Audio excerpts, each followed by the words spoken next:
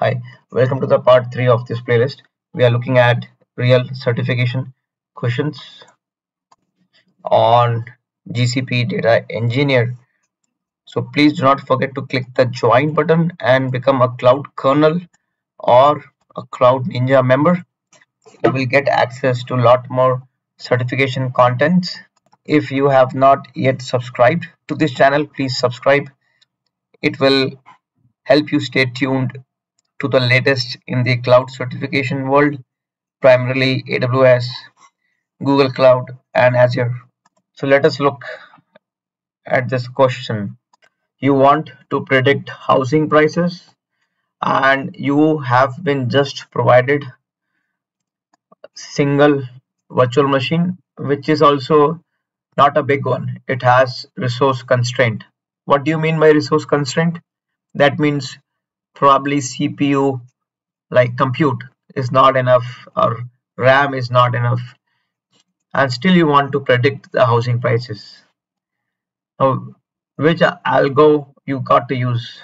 So one thing you should remember the moment you see neural the moment you see neural it needs GPU it needs lots of resources. So GPU enabled machines are leveraged there. And this is a basic documentation on what GPU will help you with. You have an accelerator configuration to help you with this one. You can pause it read it carefully. See for logistic models you have logistic regression model see most of the algorithms uh, they operate with this constraint. So gpus are supported for some algorithms but not all. Okay? So here we are interested in which algorithm will still work without a gpu or a multi gpu machine. Now if i like i told uh, neural network requires gpu kind of processing. Very expensive. So these two are wrong these two cannot operate on single virtual machine. The other thing is logistic classification will not work. We, here when you try to predict house prices you will have to run a regression and not a classification model. See classification when you want to classify based for example a disease if these five things are true for example if the blood pressure is high and if the cells are malign and uh, if there is a discomfort in the body then this can be moving towards a tumor or a cancer kind of disease. That is how you classify things. So when you're trying to predict the houses you do not classify that. You are trying to predict based on the trends the last trends and various parameters in the market that affects it so this answer would be A and this can still fit in in that small single virtual machine. It will be slow but it will yield results that you need to predict housing prices. So you are building a new warehouse and not not the Amazon warehouse but a data warehouse for your company and you will use streaming inserts to BigQuery streaming inserts. So whenever you see real time always think about streaming. Real time streaming. Real time streaming. So we do not know if the data would be sent once. There can be multiple times sent but they have unique id for each row and a timestamp so you have to ensure duplicates are not there when you are querying the data. So what query type would you use out of these? So you are trying to query the data. You want to ensure duplicates are not there.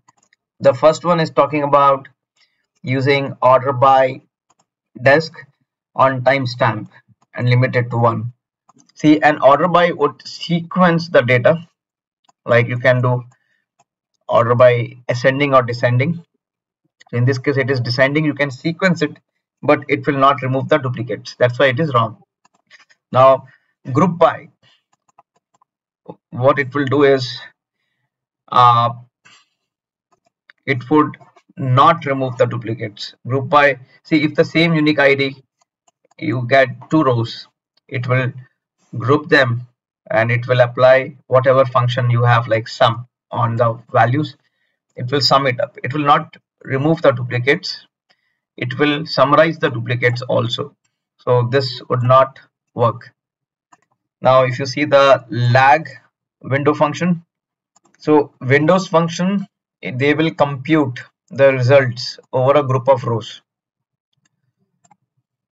So lag window will return the value of the value function in the preceding row the before row. So if you use lag function with partition by unique where lag is not null so this will this will not help you remove duplicates. Okay. So row number it determines the ordinal number of the current row. And where it says row equals one that means this will only pick ones which are unique. Hence this would be my answer so let us look at the next question. See your company you are working in a company which is highly regulated industry. Okay what do you mean by highly regulated? That means it has to go through so many audits. For example if you are working for a bank like bank of america or chase and so on or even if you are working for healthcare company like geico so you have to go through some audits and regulations to be adhered. Now one such requirement is that each individual user should have access to minimum amount of information. So this in the cloud world i would like to tell you from a concept perspective in the cloud world this is a standard. We do not give a whole lot of access when this guy only needs access to your drawing room if somebody just just needs access to your drawing room do not give that person access to your kitchen bathroom and so on. For example if you are working for companies like tcs infosys wipro and so on if you, you are a visitor you would be given access only to ground floor and not the other floors. So that is just based on the need that's all. So that is a minimum amount of information. You want to enforce this requirement in BigQuery. What three approaches we will use the first one says you disable rights to certain tables. So this is wrong because this option is just like you just remove access to second floor. Nobody can go. So like that they are saying we will disable right to certain tables. That means nobody can write it which is wrong right? If you want to prevent unauthorized access it doesn't mean that you will uh, remove access from everybody at one point people were totally against Aadhaar because they thought the data can be misused and uh, uh, there will be no privacy and so on. Boss you have to start somewhere. Otherwise you cannot count the population of your country. You there are so many other features other benefits that government gives which would become very transparent through that. So some someone somewhere has to make that start so that start happened. Similar to this now b is saying you restrict access to tables by roles which is what we do. In in the real world that is how we do. There are 10 people two people needs access. So remaining it we will not give access. How do we do that? Control. We control it through roles. Administrator role can access all the tables probably. Uh, finance roles can access only finance related tables. That way now c is saying ensure the data is encrypted at all times okay so that means I will give access to every Tom, Dick and Harry to all the floors. You keep your uh, jewelry, money safe. You lock it. So the entire campus will be available for public. It is your responsibility to lock your uh, laptops or desktops or any asset. So this is crap, right? This is crap this looks very illogical. So D says you restrict API access to approved users. This is correct because whoever wants to go to second floor, they will get access to second floor. So only approved users, not all. So this is correct. E says you segregate the data across multiple tables or databases. But I have already done that, right? I have my teams sitting in various floors. So I have already segregated. How is that going to provide protection to my information or protection of my data, protection of my laptops, desktops, and so on? So that is wrong. F says use Google Stack driver or hit logging to determine policy value. This is correct because see, you have to, even if you have uh, given someone access just to the ground floor, but you would still want to monitor this guy, right? What is this guy doing? You will still have the CCTV surveillance on. You will not switch it off. You would still have that on. It will understand, oh, what are the activities this guy did how many times he checked out of the office, how many times he checked in the office, and so on.